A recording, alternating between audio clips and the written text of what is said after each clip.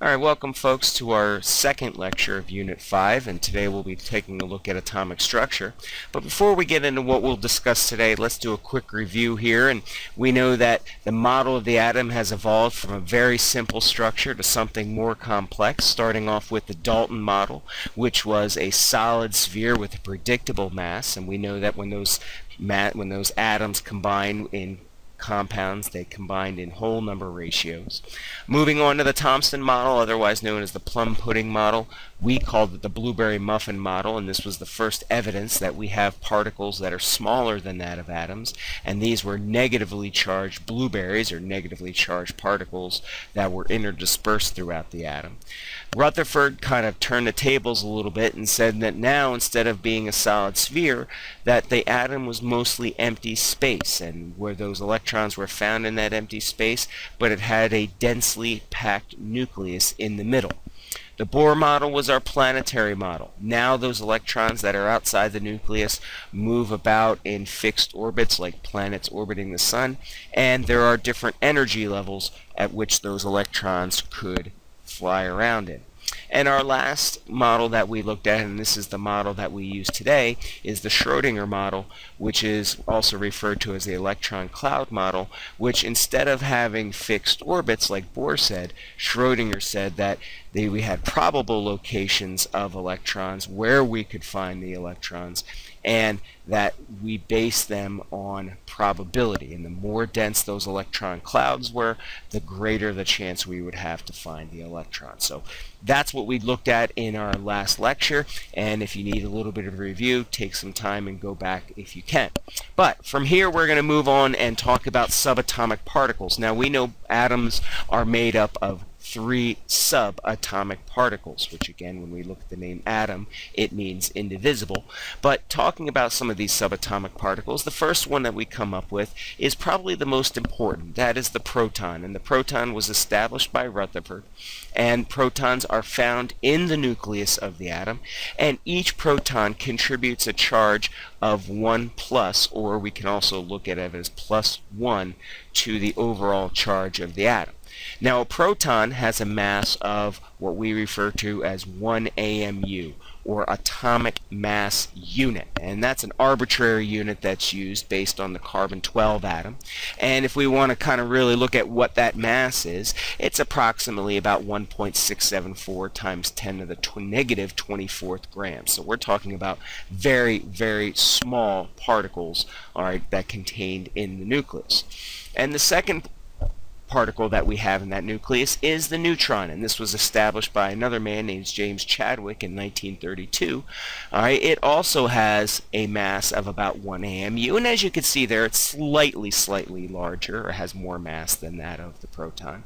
It's also found in the nucleus, but in the neutron, it does not have a charge. It has a zero charge, or what we refer to as a neutral charge. Now, if you remember back to your notes from earlier, that most of the mass of the atom is located in the nucleus. So essentially we can look at the proton and the neutron contributing most of the mass of the atom. About 99.97% of that mass is in the nucleus. So that means most of the mass of the atom is protons and neutrons. And the reason that is, is in our third subatomic particle, which we look at as being the electron, is a very small particle compared to that of a proton and a neutron. It has a mass approximately a little less than 1 two-thousandth of an AMU. So as far as its mass goes, it's negligible in contributing mass to the overall mass of the atom. But what's important here about the electron, and as you can see some of the information about that, is it contributes a charge of negative 1. So for every electron that we have in the atom, it has a negative 1 charge like the protons have a positive 1 charge. But unlike protons and neutrons, electrons are not found in the nucleus. They are located around the nucleus in that electron cloud. And again, these particles were first detected by Thomson and his cathode ray tube and later named electrons. And the word electron comes from the Greek word standing for meaning amber. So those are what we refer to as our subatomic particles. Now, moving on here. Oh, it's that time of our notes and that's our brain break time. So why don't we get up? Why don't we stretch a little bit? Maybe we'll run a marathon to get our blood flowing. But today's Chuck Norris fact of the day Chuck Norris beat Halo 1 2 and 3 on legendary with a broken guitar hero controller. I hope you video game fanatics out there enjoy that. So going back to our atomic structure here. Before we do so, I would ask that you please get out your periodic table that was provided to you in the Module 5.2 packet because there's some things that I'm going to be referring to in there to help us establish what our structure is going to be. So first let's start off here is when we look at the modern periodic table it's arranged by something we call atomic number. And if you look on your periodic table, each element has its own atomic number. Now, on your periodic table, and I'm going to come back to this here in a moment, you're going to see that atomic number being in the upper right-hand corner of each of those boxes. And you'll notice that every element has its own atomic number. So I'm going to circle our atomic number here for oxygen, and we see that it has an atomic number of 8. And that atomic number is unique for every single element. So if we were to go back and look at the elements that we have on that periodic table, we would see that it is the address of the element. So I know that when I have an atomic number of 8, it's always going to be oxygen. If I have an atomic number of 6, it's always going to be carbon. If I have an atomic number of 1, it's always going to be hydrogen. But as far as our structure goes, the atomic number also equals the number of protons in the atom of that element. So essentially, it's the identity of the element. If we change the number of protons, we change the element. So going back to our example here, if we look at oxygen, we see that it has an atomic number of 8. So right away, that tells us that oxygen has 8 protons in its structure, in the nucleus of an oxygen atom. So for any element, we know that whatever its atomic number is, whatever its address is, we can consider that being the amount of protons that are in that element. Now, as far as we know so far, because protons have a positive charge and every proton contributes a positive one charge to the atom, the number of electrons is going to equal the number of protons. So the negative charges balances out the positive charges and we get what's called a neutral atom. So going back to our oxygen example here.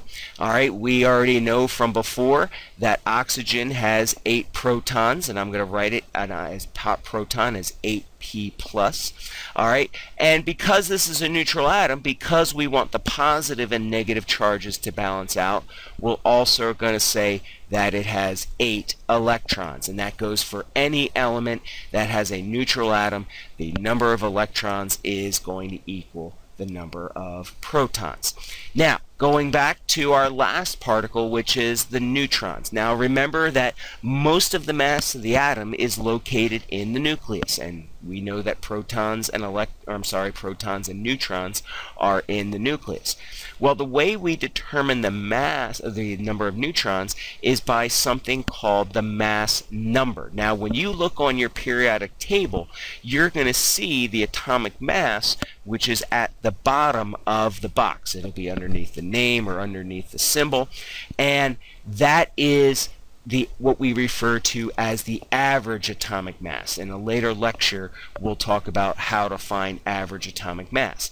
But to find the mass number from uh, atomic mass or average atomic mass is we round it to the nearest whole number. And once we do that, we then subtract the atomic number from that mass number to give me the number of neutrons because the mass number is essentially the sum of the protons and the neutrons. So going back to our example here, all right, we already know that oxygen has eight protons and we're going to write that as 8p plus. We know that it has 8 electrons, which we'll write as 8e negative. Now I can see here my average atomic mass is 15.99. Now depending on the periodic table you look at that might vary by a small amount. I think yours says 16.00 but we can look at this as having a mass number of 16 and remember folks that 16 is a sum of the protons plus the neutrons. And we already know that oxygen has 8 protons. So the way I'm going to find the number of neutrons is I'm going to take my mass number here, which is 16, and I'm going to subtract the atomic number, which is the number of protons, which is 8. And that's going to give me 8, which means that gives me the number of neutrons being 8. So we would say that oxygen in this case has 8 protons, 8 electrons, and 8 neutrons. Now in this particular example all of them are the same. Not every single exam not every single element is going to be the same. In fact, as you get heavier elements, that is where it's going to change a whole lot. But that's really how you find the structure of any neutral atom is by looking at the information that you have there on the periodic table. So let's just summarize what those things are. So up in the upper left hand corner you have your atomic number, the address of the element, that gives us the number of protons. We have our element symbol and our element name that are listed there which you will have reference to in your periodic table and the number that you see in the upper right hand corner here that is our average atomic mass which we use to round to the nearest whole number so that we can get the mass number which is the sum of the protons and neutrons. And again, we know that the protons and the electrons will be equal to one another. We know that we can find neutrons by taking the mass number and from there subtracting the number of protons or the atomic number. So that's basically our lecture here on atomic structure in a nutshell. If you have any questions, please ask and take a look at some of the videos and web links to help further your knowledge about what this atomic structure is.